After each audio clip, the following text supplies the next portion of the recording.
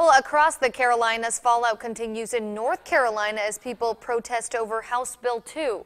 Hundreds of protesters gathered outside the governor's mansion Saturday to oppose the new controversial law. You remember this law requires transgender people to use the restroom that matches the gender on their birth certificates. Opponents of House Bill 2 say it creates more confusion than it solves. And the friends that I've got that are transgendered who are going through transgendering process are having a hard enough time as it is in the community to feel accepted, let alone feeling this self acceptance that they need to, to fully achieve their lives. The law also prevents cities and counties from extending protections covering sexual orientation at restaurants, hotels, and stores.